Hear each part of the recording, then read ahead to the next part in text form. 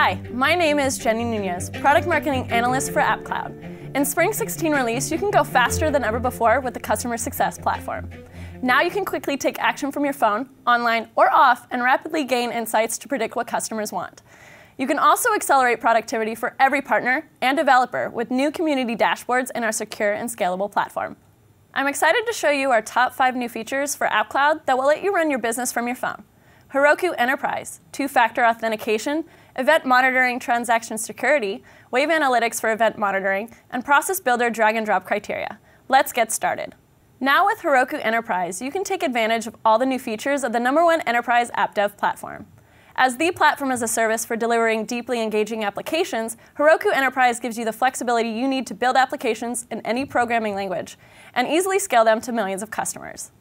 With new features like private spaces and selectable regions, you can now create dedicated network isolated app environments that give you the privacy, performance, and power you need to deploy apps in any location you select. Free your developers with the open languages and technologies they need to innovate with the enterprise trust and security you expect from Salesforce. And it doesn't stop there. This spring, we've also taken two-factor authentication to a whole new level. With the new two-factor authentication, you can deliver a seamless and secure experience across all your company's apps without complicating the login process. Now employees don't have to type authentication codes to log in. All they have to do is open the authenticator on their mobile device and select Approve. Approved devices and networks will be remembered and for future logins automatically authenticated, making secure logins frictionless and frustration-free. In Spring 16, we've taken event monitoring capabilities to the next level with transaction security. With transaction security, you can monitor user behaviors around accessing specific resources, exporting data, authentications, logins, and build new security policies.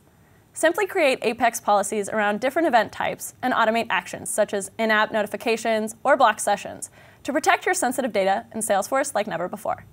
Now the next time your authorized user downloads a report with a list of 50,000 contacts or simply exceeds the amount of concurrent sessions, block them in real time.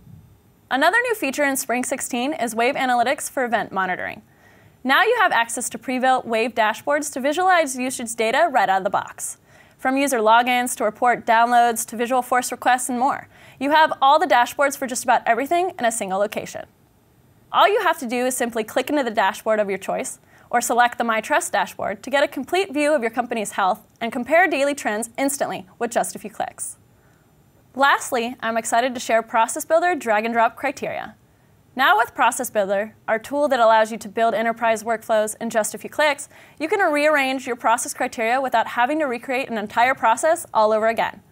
All you have to do is simply select the criteria you want to move and drag it to the location of your choice. It's that easy. Now you can automate your company's most complex business processes like recruiting, project management, and more faster than ever before. These are just a few of the exciting new features in Spring 16 release that will help you quickly take action from your phone, predict what customers want, and accelerate productivity for every partner and developer.